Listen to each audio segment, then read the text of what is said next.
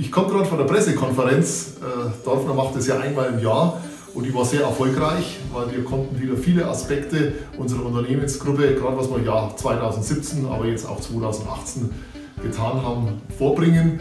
Und ja, eine Geschichte, die liegt mir besonders am Herzen. Wir haben tatsächlich die 250 Millionen Euro überschritten an Gesamtumsatz und ja, da wollten wir und auch ich wirklich herzlichen Dank an alle Mitarbeiter, an alle, die mitgewirkt haben, aber auch Lieferanten und Kunden wollten wir mal richtig Danke sagen und das soll vom Herzen kommen. Also vielen, vielen Dank und äh, das, ist, das ist eine tolle Geschichte. So haben wir das Unternehmen gerade in den letzten Jahren und ja, 2017 ist da kennzeichnend dafür gut nach vorne gebracht. Vielen Dank.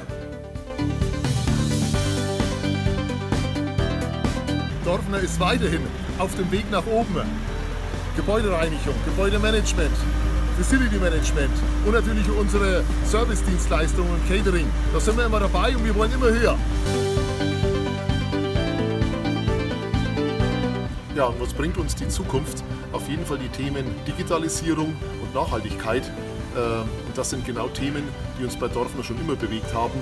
Wir wollen äh, die Digitalisierung in allen unseren Prozessen verankert sehen. Äh, aber gerade das Thema Nachhaltigkeit liegt uns am Herzen bei den Kunden, aber auch bei den Mitarbeitern, nicht nur bei den technischen Innovationen wollen wir hier Vorreiter sein und da müssen wir auch noch viel tun. Das Thema Führung liegt uns am Herzen und insgesamt alle Prozesse bei Dorfner sollen Nachhaltigkeit äh, beinhalten und das wollen wir also wirklich sauber und strukturiert durchführen. Alles Gute für die Zukunft. Toi, toi, toi.